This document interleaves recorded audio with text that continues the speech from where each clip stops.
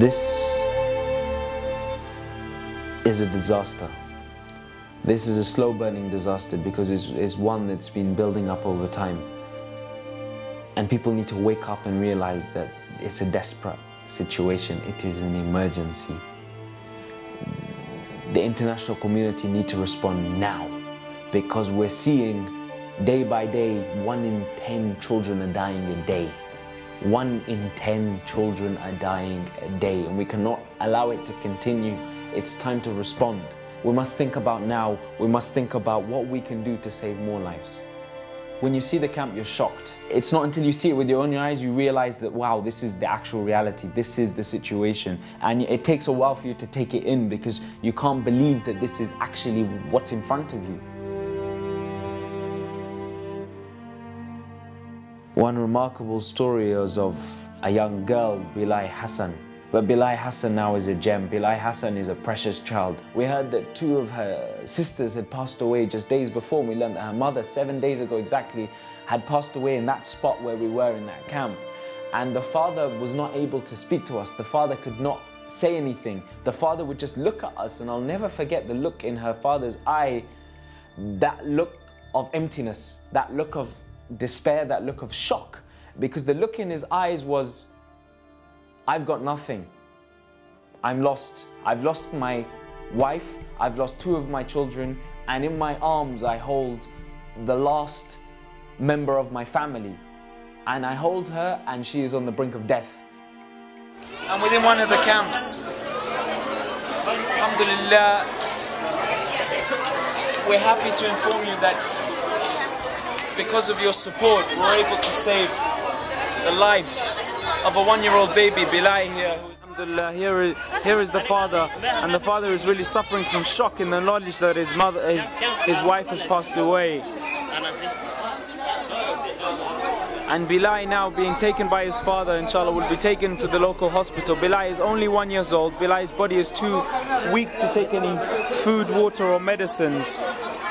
And therefore, Bilal is being rushed to the hospital where inshallah Islamic Relief will be working with the local hospital here to save the life of Bilal. Because of the support of people, we were able to respond to the needs of Bilal Hassan. And despite the father losing his wife, losing two of his three girls, we were able to give him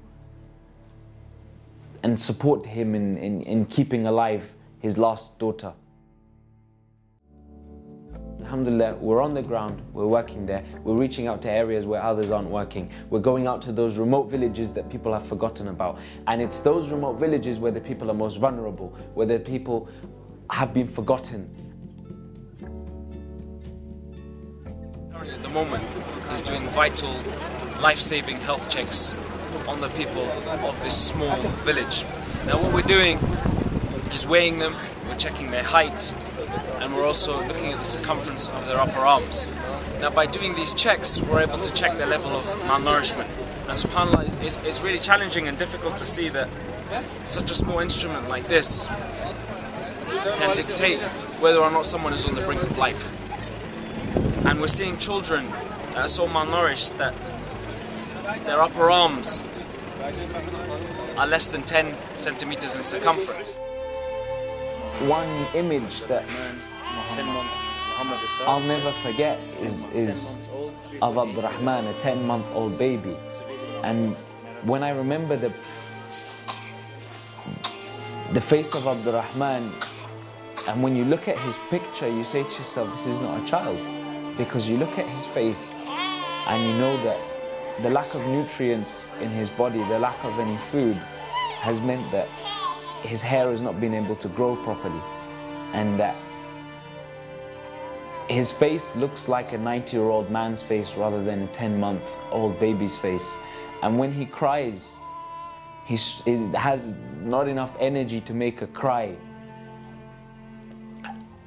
And when you see the facial expression of him crying out in need of help, you see all of his cheekbones, you see parts of his skull. And, and you ask yourself, subhanAllah, this is the reality, this is the situation. How fortunate we are everything that we have. And there are children at the age of 10 months old that at any second could die because of a simple thing like food, like water, like basic medicines that we really take for granted.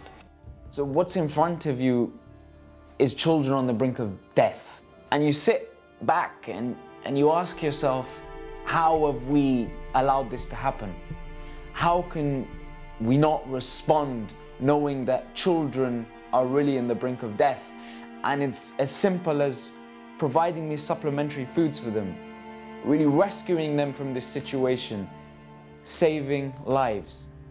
We need medicine, we need support to help our workers. We have the teams, we need more teams. We have the expertise, we have the knowledge, we know where the people are, but we need support to be able to get out to them. We have a limited amount of resources. It's difficult because it really kills us to know that we just need that bit more to reach out to more people.